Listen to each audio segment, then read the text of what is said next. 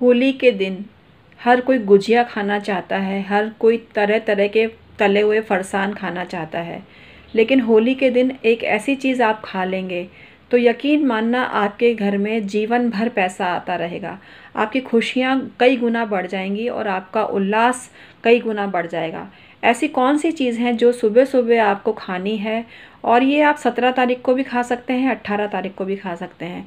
ये पदार्थ ऐसे हैं जो सोने के टाइम पे भी आप खा सकते हैं। इसके लिए खाली पेट होना ज़रूरी नहीं है।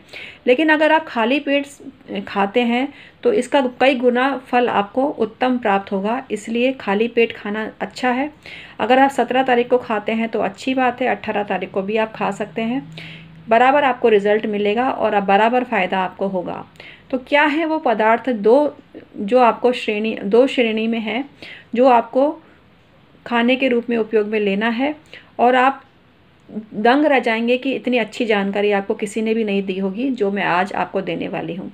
Hi everyone my name is doctor Uma Shri मेरे चैनल में हमेशा आपका स्वागत होता है।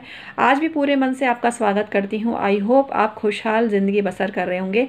मेरी ब्लैसिंग्स हमेशा मेरे सब्सक्राइबर और व्यूवर्स के साथ में होती है। आप इसी तरह की तरक्की करते रहें और पनपते रहें। मेरी ब्लैसिंग्स आपके लिए यही होती है। तो आइए आज का वीडियो शुरू करते हैं। होली का दिन मतलब उल्लास का दिन, स्फूर्ति का दिन। इस दिन तरह तरह की खुशियाँ आपके जीवन में आती है और इस दिन शत्रु भी मित्र बन जाते हैं। रिश्तेदार जो रूठे हुए होते हैं, इस बहाने उनमें मेल जोल भी चालू हो जाता है और लोग अपने जो पुराने गम हैं, वो भी भूल कर उल्लास का अनुभव करते हैं। तो ये त्यौहार, मिलन का त्यौहार है और पुनर्मिलन हो जाता है। जो दो शत्रु हैं आपस में, वो भी मित्र बन जाते हैं इस त्यौहार के ज़रिए। और ऐसा होना भी चाहिए। लेकिन आप मानेंगे नहीं कि नेगेटिव एनर्जी भी इस दौरान बहुत व्याप्त होती है और उससे सावधान आपको रहना चाहिए।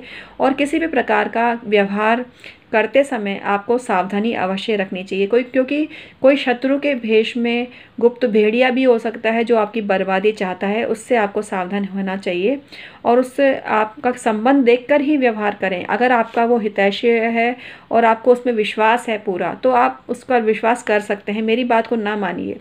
आप मेरी बात ना मानिए इस क्षेत्र में अगर आपको पूरा भरोसा है।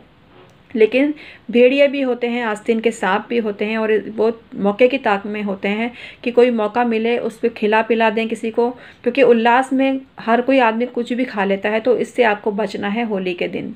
कोई भी आपको मीठी चीज़ देता है मीठी मीठी गुजिया तो देता है, वो सब खा रहे हैं। अगर वो प्लेट में दे रहा है और सब खा रहे हैं तो आप खा लीजिए। अगर आपको ही स्पेशल परोसी जा रही है, वो चीज़ तो आप नहीं खाइए, इससे आपको नुकसान हो सकता है।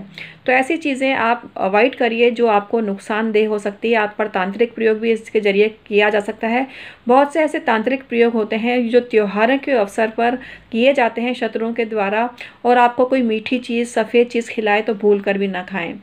प्रसाद भी भूल कर भी ना खाएँ। प्रसाद के, को भी लोगों ने ऐसा धंधा बना रखा है।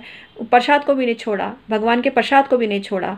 और हमें विवश करते हैं कि हम प्रसाद को ना खाएँ और प्रसाद का अपमान करें। तो प्रसाद आपको लेना भी नहीं है, क्योंकि लेने से आप जो बर्बादी को पा सकते हैं, क्योंकि लेने से भी आपको दोष लगता है तो प्रसाद आपको भूल कर भी लेना नहीं है। कोई बहाना आप बना दीजिए, इससे आपको फ़ायदा होगा।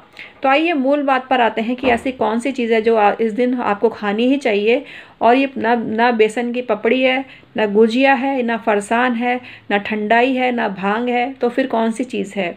मित्रों, ये चीज़ है शहद। शहद आपको सुबह सुबह खाना है और उसमें थोड़ी सी हल्दी मिला देनी है। हल्दी और शहद आप सुबह सुबह खाली पेट भी खाएँ या आपको जब वक्त मिले तब आप खाएँ, आपको बहुत फ़ायदा होने वाला है और आपकी किस्मत शहद जितनी ही मीठी हो जाएगी और हल्दी जितनी सोने जैसी चमक चमकेगी आपकी किस्मत। ऐसा अनुपम उपाय मैंने बताया, ऐसा अद्भुत उपाय मैंने आपको बताया। इसको करके देखना। इसको करने मात्र से ही आपके भाग्य का कपाट खुल जाएँगे और आपकी ज़िंदगी में खुशहाली के साथ साथ मनमान पैसा भी आएगा। तो आज का वीडियो इतना ही था। अगर वीडियो पसंद आया हो तो इसको लाइक अवश्य करना और कमेंट सेक्शन में आके ओम नमः शिवाय या जय माता दी या जय श्री राम या जय श्री कृष्णा अवश्य लिखना।